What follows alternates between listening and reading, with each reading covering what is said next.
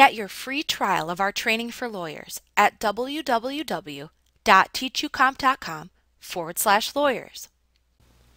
There are a variety of legal templates that you can use that allow you to quickly create professional legal documents of many types.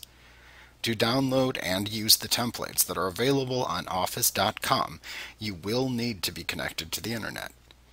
Assuming that you have an internet-connected computer, you can browse and then download any number of legal templates that are available to use. To do this in Word 2013 through 2010, click the File tab within the ribbon. Then click the New command at the left side of the Backstage view. In the area to the right, click into the search box and type your desired search term, such as legal or law. Then click the Start Searching button to display any templates that contain the search term such as legal or law within their titles.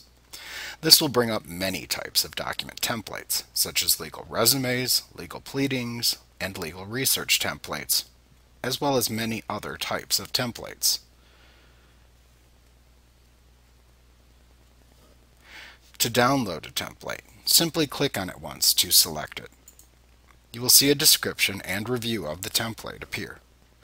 If you decide that you would like to download the template, then click either the Create button in Word 2013 or the Download button in Word 2010 to download and create a copy of this template on your computer. The template will then open within Word where you can edit and customize it as you wish by adding your own content to the structure provided. Like what you see?